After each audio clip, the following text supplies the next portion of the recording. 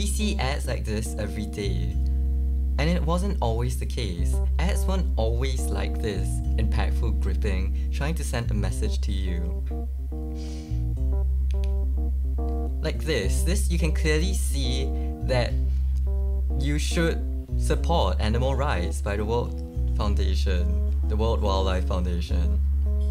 What does this image tell you? The first picture you see is someone almost naked, well, completely naked, and at the bottom it says, He thought your nudes were hot, the entire basketball team does too. Obviously, this ad wants to address news and sexting.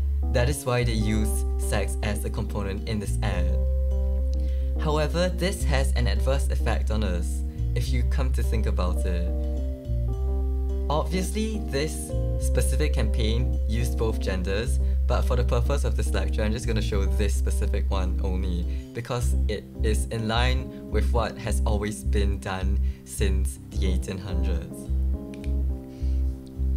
This ad is from 1871. It shows a naked lady and you might not have heard of Pearl, I haven't. It's a tobacco ad. This ad is the most earliest use of sex in advertising. Why did they have to use a naked lady? Obviously, it grips our attention, and for advertising, that is crucial. If you don't pay attention to an ad, the message does not transmit, and your ad's wasted, that's it. So, one day, someone thought that you should put sex in ads, and that is where we are today. To a more modern example, Carl's Jr was notorious for using women as sex objects to sell the burgers. However, they have recently changed since times have changed. However, years of such effects don't go away overnight. Are we affected by what we see in the media?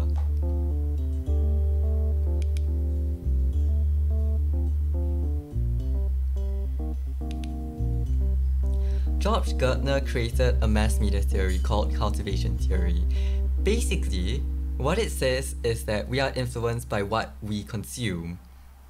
Only when you're a mass media user, if you watch TV for 8 hours a day, you will come to think that what you see in the TV is what is in real life, and that affects your thoughts. However, cultivation theory doesn't just apply to heavy TV users. It applies to internet users and all forms of mass communication. So, if you consume content like me, and like most people do, how would you be influenced by sex in the media? We come to gender stereotypes and gender roles. What are those two things, and how does that relate to sexuality in the media? Stereotypes are opinions or sweeping statements we form about people. They are short-sighted attributes that doesn't necessarily reflect the true nature of people. Roles, on the other hand, are stuff that we associate to people in real life, what they should be, how they should act. It's like a motherly fi- figure or a fatherly figure. That is a role they play in our lives. If you look at this image, you would associate women with sex, won't you? You won't necessarily, as different people react to the same thing differently. However, this is the one such interpretation of the message in Boku no Hero Academia, Season 3, Episode 2. You would link women as sex objects, and Obviously, that is not okay.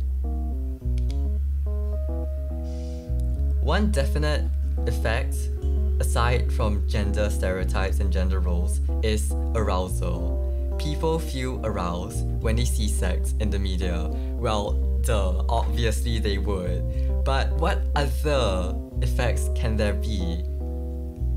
To answer that question, we don't know. Multiple studies have shown that people might feel different things, but there is no consensus. Therefore, I've chosen not to show such effects on stream. And that is the end of the lecture. Thanks so much for watching. I really appreciate that you're watching this. I'll see you all in the next stream.